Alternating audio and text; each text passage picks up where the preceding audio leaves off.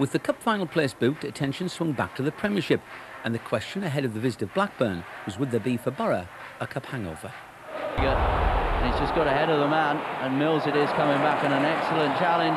And now suddenly Blackburn Rovers have scored the goal, and it's Blackburn Rovers that are ahead through John Stead, combining with Paul Gallagher.